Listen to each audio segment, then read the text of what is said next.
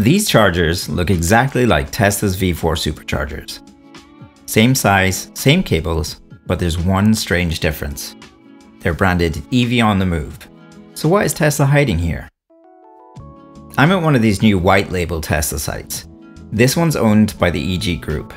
These are popping up all over the UK under the EV on the move name. And here's what you need to know if you pull up to one.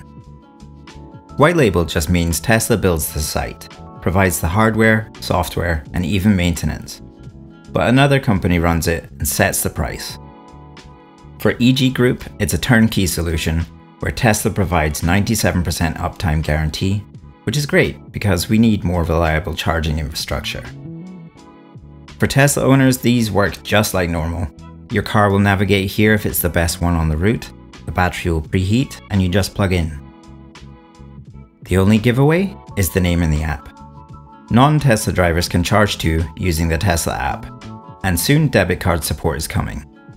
And it's not just the UK, BP is spending $100 million to roll these out in the US as well. One catch, free supercharging no longer works here.